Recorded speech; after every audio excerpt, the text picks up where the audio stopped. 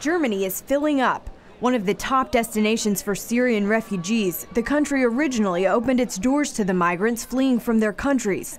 Now it's implementing temporary border controls, many calling it a strong message to the rest of the European Union to step up and start shouldering some of the burden.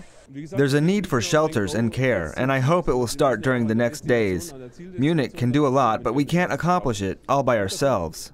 Germany's internal minister says that according to EU rules, his country isn't technically responsible for the migrants. They're supposed to be registered and processed in the first EU country they arrive in.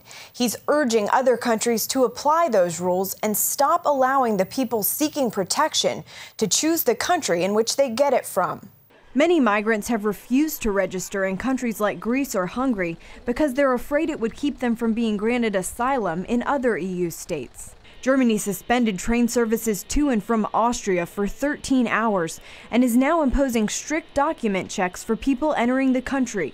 Measures officials say are necessary for Germany to limit the number of people coming in and reinstate a more orderly entry process. Here at home, some lawmakers are voicing concern that President Obama's decision to allow 10,000 refugees to be brought to the U.S. will put the country in danger. On ABC's This Week, Homeland Security Committee Chairman Mike McCaul said, quote, I take ISIS at its word when they said, in their words, we'll use and exploit the refugee crisis to infiltrate the West. That concerns me.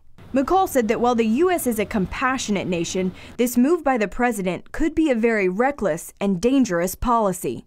He also said that the U.S. has already disrupted a security threat to Pope Francis's upcoming visit to the U.S.